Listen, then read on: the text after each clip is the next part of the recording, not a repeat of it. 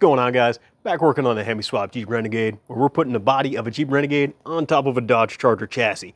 In the last episode we got the drivetrain shoved back in here, engine, transmission, even started on the exhaust, drive shafts hooked back up, pretty much good to go. With that being said, we're going to start on the interior. Uh, going to do some uh, spray on bed liner, just like I did with the engine bay. Color match, F8 green, everything. We'll be getting everything one solid color, firewall, floor pan, as far back as the floor goes. Uh, back end still wide open. We'll worry about that later.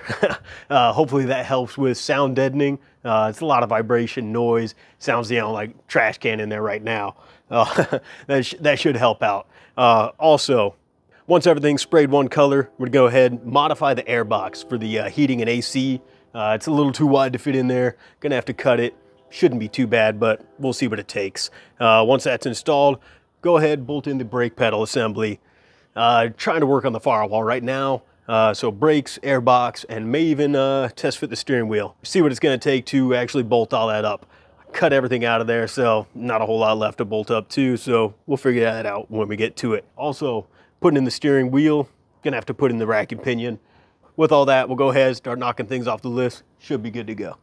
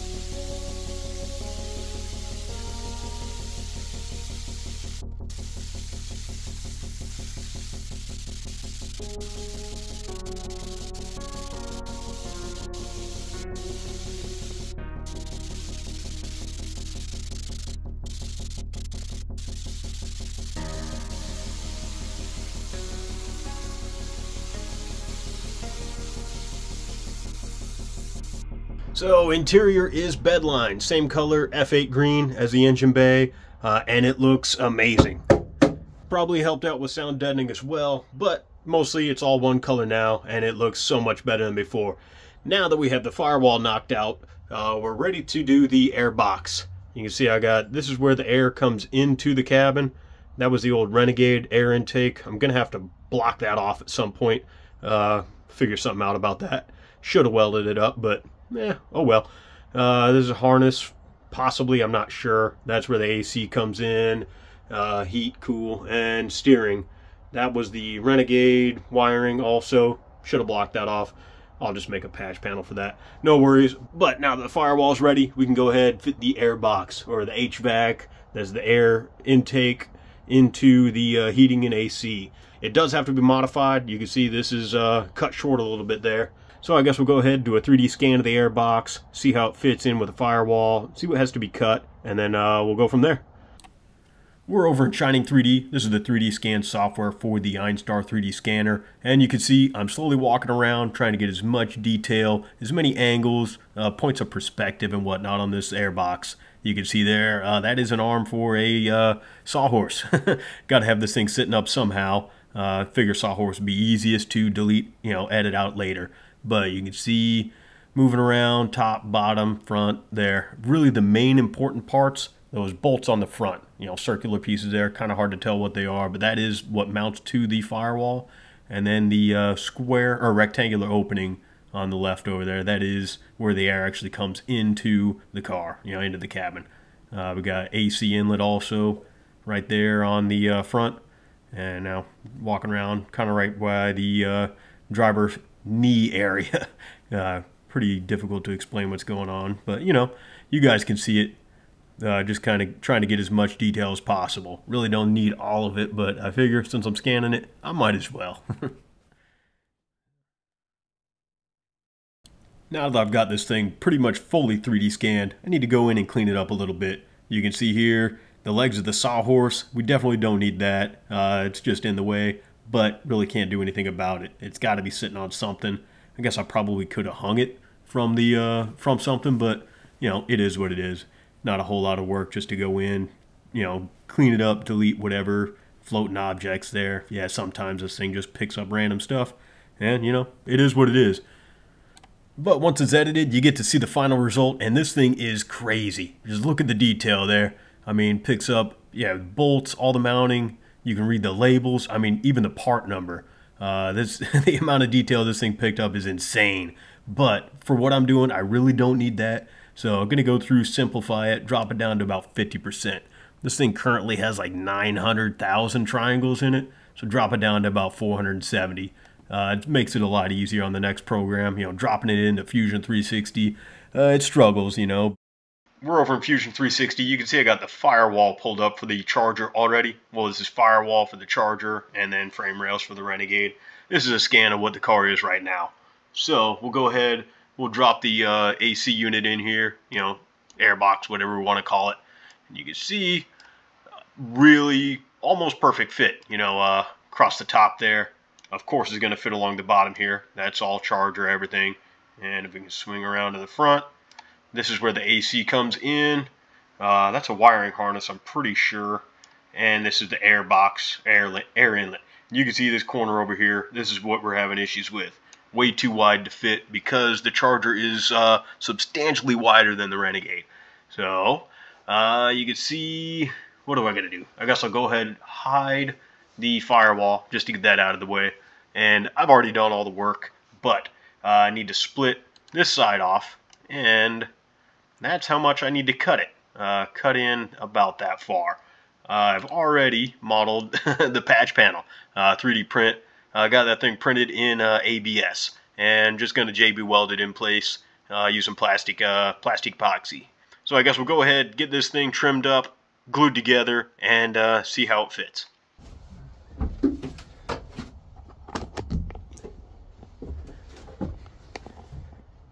So after a little trimming, everything fits perfect. Uh, real tight clearance, but it barely clears.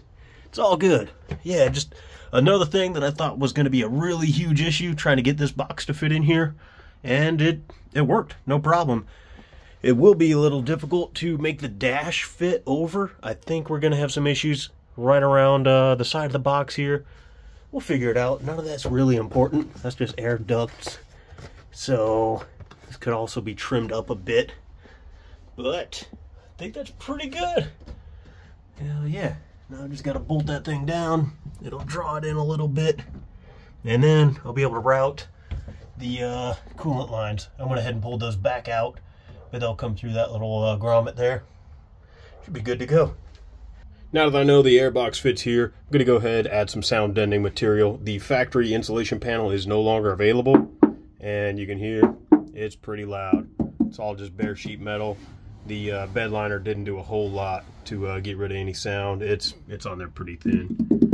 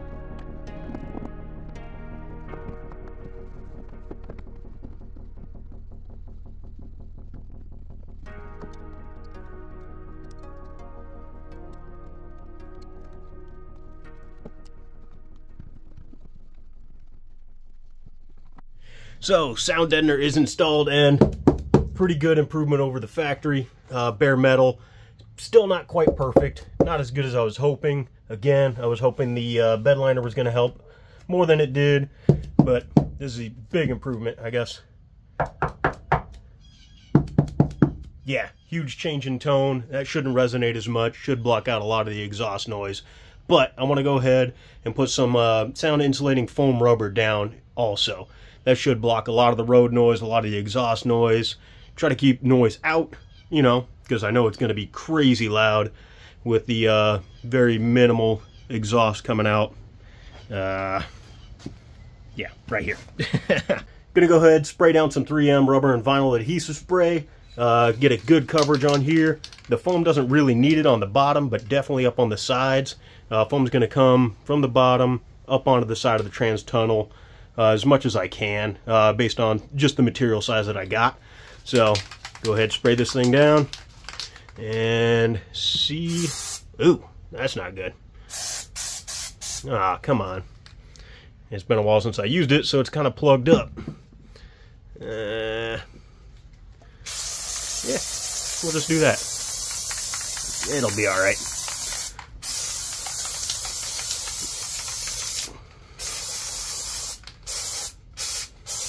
Hmm.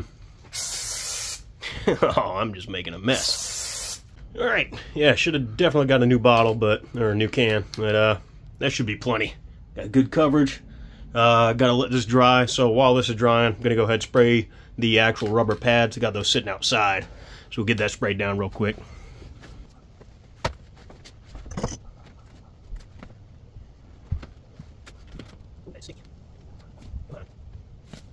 That's lock it down.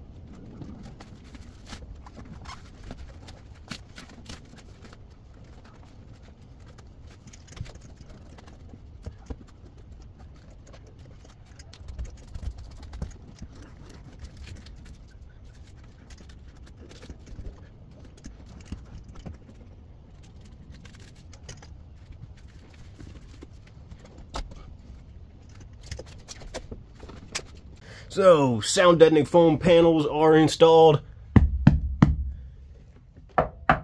Huge improvement. Instead of like a tin can, trash can sound, very solid. It's definitely going to help out with the road noise, exhaust, everything. Uh, trying to make this thing a little more comfortable because it's not going to be just a straight up race car. Not perfect, but you know, it's going to work. It's all going to be underneath the carpet anyway. But I may end up that's just a solid flat piece of steel. Not a whole lot going on there, so I might go ahead and add some more deadener in there. But I think we're ready to install the HVAC unit. That should go right in here. And have to start hooking up the AC unit and steering. I gotta throw that in there. I still have to put the uh, rack and pinion, haven't done that yet. But I modified the uh, lower subframe, so it should bolt right in. Uh, you see clear shot, good to go, should clear the exhaust. But I guess uh, go ahead, slap the HVAC in, then we'll get this thing up in the air and uh, bolt everything together. Got the airbox installed, brake pedal assemblies installed, brake pedal works, master cylinder, got a good stroke, no bind, still good gap at the back. I can always adjust it, got a turnbuckle there, and brake position or brake pedal sensor. So brake lights will work. Everything is looking pretty good. I think I'm going to try to fit the steering wheel in here, see what it's going to take to mount uh, some type of bracketry off. The factory uh, bar, uh, dash bar that went across here had all the mounting for provisions. You know, like you can see this is going to nothing. That same situation. Uh, this, I'm not sure what was on there, if anything, but all the bracketry, all the supports is all missing. Gonna have to be rebuilt. Probably gonna come off of uh, my temporary mounts that I put in for mounting the dash. Uh, I don't see why not. Just go ahead, put a bar across there. It's gonna have to mount the steering wheel there. Uh, you know, gauges, kind of envision what it's gonna look like. Dash, gauges right around here. Still got to block that hole. Still got to block that hole, but we're getting there. Huge step forward. I really wasn't sure if the AC and heating was going to be able to, you know, fit in here. Looks like it's going to, well, of course this is going to fit. Uh, this is all factory tunnel. Don't know why I'm looking down there. But uh, as far as fitting in here, the only issue was that side there. Had to trim that side a little bit. Air's still going to have plenty of path coming in. Uh, whew, I'm not sure how I'm going to make this work. Air coming out of here, distributing through the factory vents. It's going to be a lot of scanning, 3D printing and whatnot, but no big deal. Think I'm going to try to throw the steering wheel in real quick. Um, might get under, put the steering rack on. We'll see.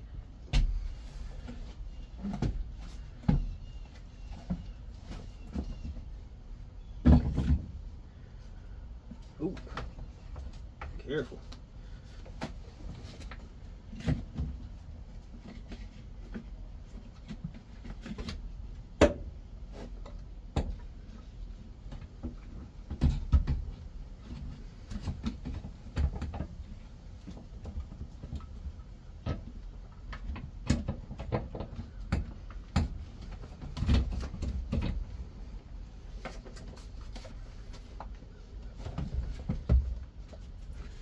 Not even sure where it goes.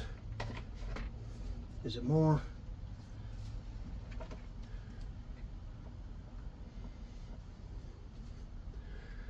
Oh well, I'll figure it out.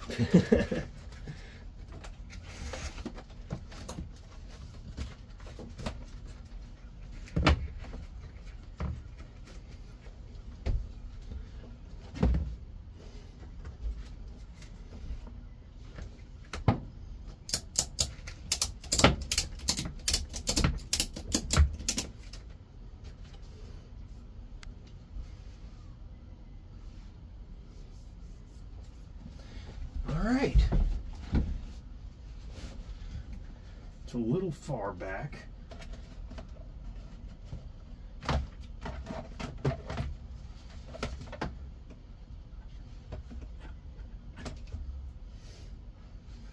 think. No, I mean, back of the seat's going to be about here. I'm pretty much even with the B pillar. Yeah, that ain't bad. Dash center console. Shoot, I think that's gonna work. Well, I mean, it's gonna have to. Ew, this thing's filthy. Should have cleaned that up first. But, hell yeah. That's gonna work. All right, so, all right, so, steering wheel's gonna work. Uh, gonna go ahead and lift the car up in the air, bolt in the rack and pinion, and that should be well, one step closer to getting this thing back on the road. or on the road for the first time. Yeah. I hope that's how it went. We'll see.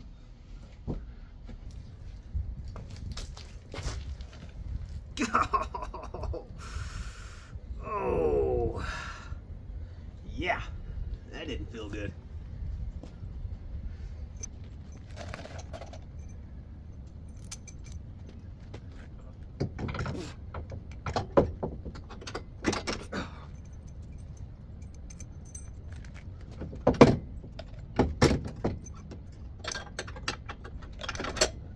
That's it. That's all I can do.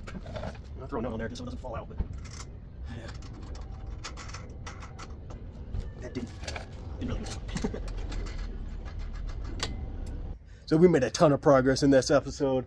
Got the whole interior resprayed with bedliner, F8 green of course, got a color match. Put some sound deadener in there, try to help with the vibration, exhaust noise, gonna be crazy. Uh, it is what it is. Also got the air box with the heating and AC mounted up modified, fit perfect, no worries. I don't know what I was stressing about. You know, I made it happen. uh, just kind of lucked out on that one.